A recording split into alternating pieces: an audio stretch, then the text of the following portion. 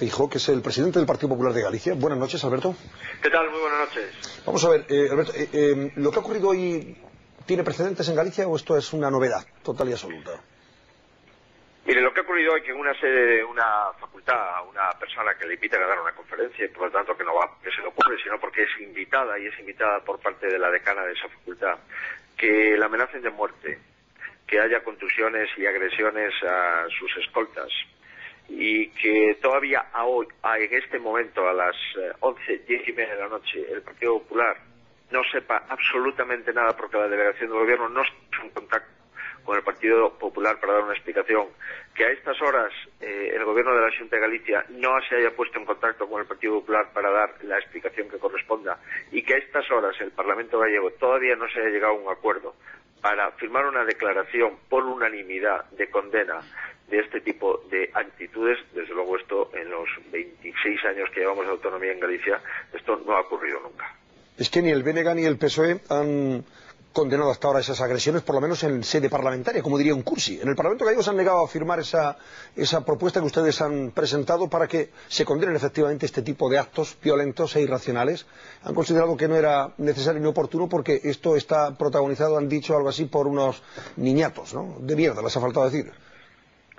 No, no, esto no son niñatos. Esto es... No, no, eso es lo que han dicho de alguien del BNG o del PSOE gallego. Esa es la explicación que ha dado en los pasillos, cuando Sí, para justificar mí- su negativa, ¿no? A mí me extraña que los nacionalistas... condenar le- los hechos. Sí, me extraña que los nacionalistas le llamen niñatos a, esta, a este grupo nacionalista independentista. Y pero usted, mire, nosotros a las cuatro y media cuando se inició la sesión plenaria eh, y redactamos una declaración institucional de cuatro folios, se la pasamos a los portavoces con objeto de, si era necesario, enmendarla, reformarla, modificarla, ampliarla o reclutarla, pero lo que sí parecía razonable es que Galicia no fuese hoy noticia por dos hechos graves. La, primero, por estas eh, amenazas a una diputada del Parlamento Vasco, en este caso a mi compañera la presidenta del Partido Popular de- del País Vasco, María San Gil, y en segundo caso, no queríamos ser noticias porque el Parlamento Democrático Galicia no condenase unánimemente en una declaración este tipo de atentados y este tipo de actuaciones eh, totalitarias. ¿no? Pero mire, eh, en este fin de semana se ha producido otra vez unas agresiones a personas, concretamente a dos personas, que simplemente estaban participando en un acto de recogida de firmas en favor de la Galicia bilingüe y del bilingüismo en libertad en Galicia.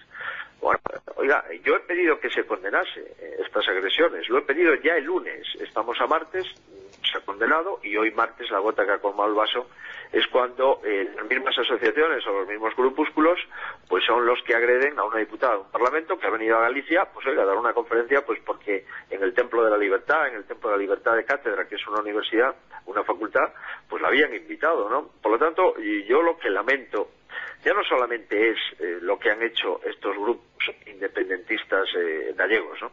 Sino, lo que lamento es que eh, la tibieza del gobierno, el quedar bien con todo el mundo, el no dar importancia a cosas gravísimas y el no tener arrojo político si es necesario para tener una discusión con los nacionalistas y decir, oiga, pero esto no lo podemos consentir, Galicia no puede ser noticia por este tipo de actuaciones, eso es lo que más me duele como demócrata, como gallego y como español.